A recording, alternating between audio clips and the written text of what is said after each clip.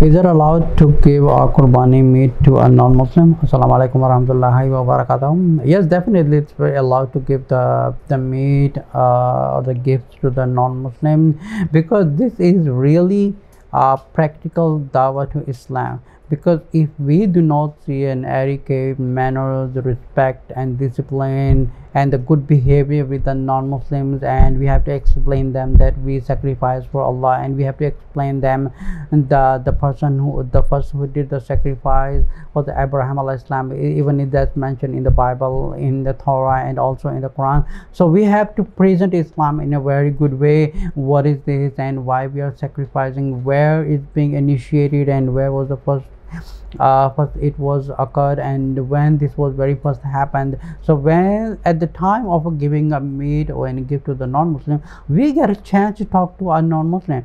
If we do not show our behavior if we do not if we do not uh, present Islam in a good way how do the non-Muslims will know that uh, what is a Muslim means and what is Islam means? So we get a chance to talk to them by giving them a meat and by giving them a gift. We get a chance where this qurbani come from where is this sacrificing come from. And the first one who was uh, who who did the first sacrifice was Abraham uh, peace be upon him. And when he had a dream of the son of Ishmael uh, to make a sacrifice and the God changed the Ishmael God changed Ishmael salam into uh, into a sheep.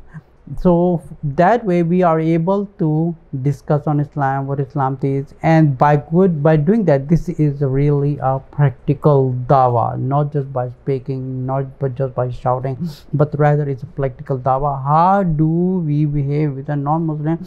That's the number one dawa of uh, uh, inviting others to the muslim. Because if we do not uh, behave the good way because if you read in surah Nahl verse number 125 where it say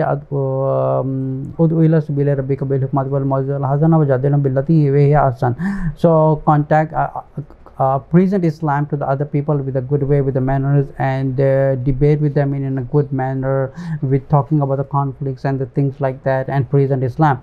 So that gives them a good option for them to understand. Oh, we didn't know this before. Now we know that.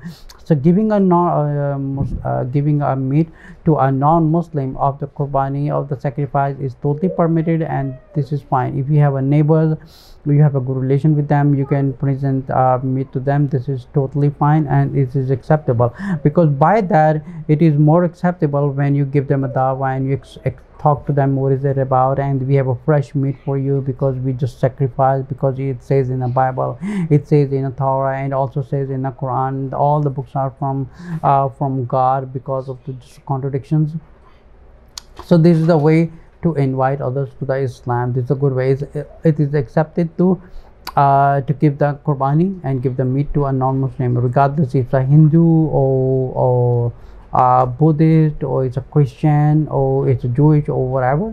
If even it's a non-Muslim, you can allow to give the meat to them.